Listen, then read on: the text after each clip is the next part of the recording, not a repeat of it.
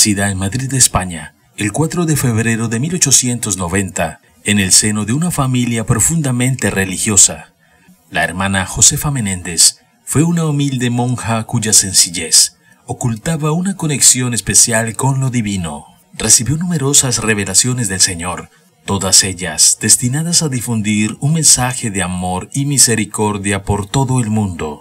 Parece que fue elegida por Dios mismo para ser el canal a través del cual se transmitiera el mensaje de la divina misericordia. En su diario personal, se relata que la hermana Josefa fue visitada por las almas del purgatorio durante un periodo específico, del 27 al 31 de julio de 1921. Se narra un acontecimiento relacionado con estas almas.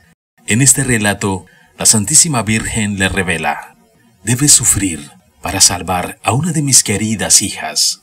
Aunque Jesús la quería para sí mismo, ella no respondió al llamado divino y estaba destinada a fallecer al día siguiente. Qué consuelo para mi corazón materno si no cae en el infierno. La hermana Josefa pasó toda la noche en oración, pero al amanecer fue perturbada por ruidos infernales, lo que la llevó a refugiarse junto a la estatua de Nuestra Señora. De pronto todo se calmó. Nuestra Señora, con una sonrisa en el rostro, colocó gentilmente su mano sobre la cabeza de la hermana Josefa y le aseguró que ya había rendido cuentas por su vida. La pobre mujer había librado una verdadera batalla. Cuando el demonio se dio cuenta de que su alma se le escapaba, intentó perturbar su paz y hacerla sufrir. Estaba furioso porque tú me estabas ayudando a alejarla de él. Murió profundamente arrepentida y su partida fue tranquila. Ahora se encuentra en el purgatorio. La siguiente noche, la hermana Josefa fue despertada por lamentos provenientes del alma por la que Nuestra Señora le había pedido que rezara. Esta alma había experimentado un sufrimiento inmenso en el purgatorio. Sin embargo, cuando se le consultó acerca de qué devoción tenía hacia Nuestra Señora, respondió, Desde que caí en el pecado, mi única práctica devocional ha sido recitar la Salve Reina cada sábado. Y tres días después de eso, esta alma asciende al cielo gracias a la súplica de la hermana Josefa. Antes de partir hacia el cielo, esta alma planea expresar su gratitud a su benefactora. El 10 de abril de 1922, un alma se le aparece a la hermana Josefa para agradecerle, revelando además algo desconocido por muchos.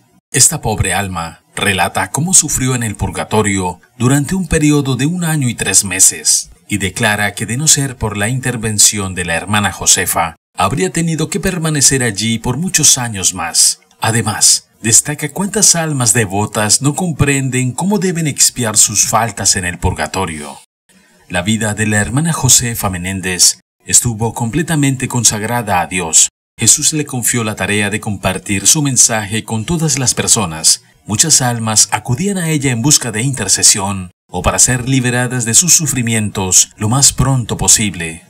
Una de estas almas compartió que su presencia en el purgatorio fue una muestra de la infinita bondad de Dios, ya que su excesivo orgullo la había llevado al borde del infierno durante su vida terrenal. Suplicaba a la hermana Josefa que llevara a cabo actos de humildad para reparar su soberbia.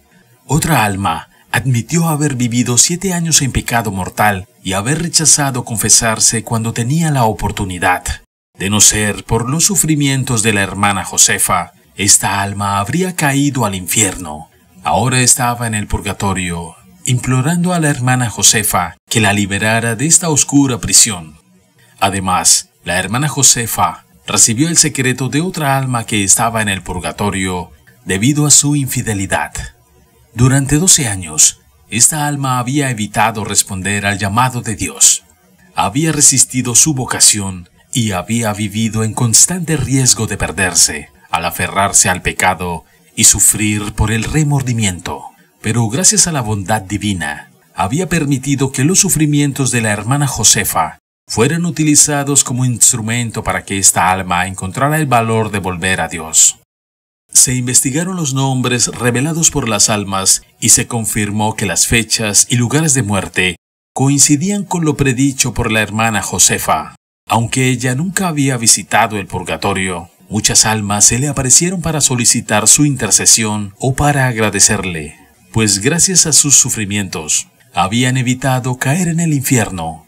El mensaje del purgatorio compartido por la hermana Josefa nos recuerda que las almas no alcanzan el cielo de inmediato. Algunas aún están en proceso de purificación y necesitan desesperadamente nuestras oraciones.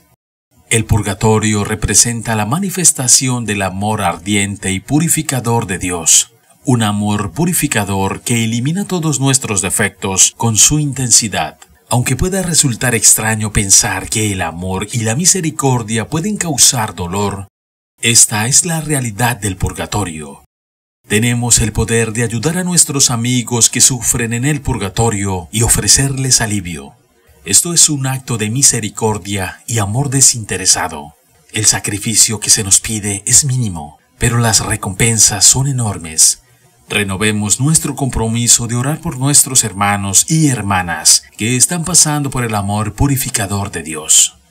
Padre Eterno, te ofrezco la preciosísima sangre de tu divino Hijo, en unión con todas las misas que se celebran en el mundo entero en este día, por todas las benditas almas del purgatorio, por los pecadores en todas partes, por los pecadores en la Iglesia Universal y por aquellos en mi propio hogar y dentro de mi familia. Amén.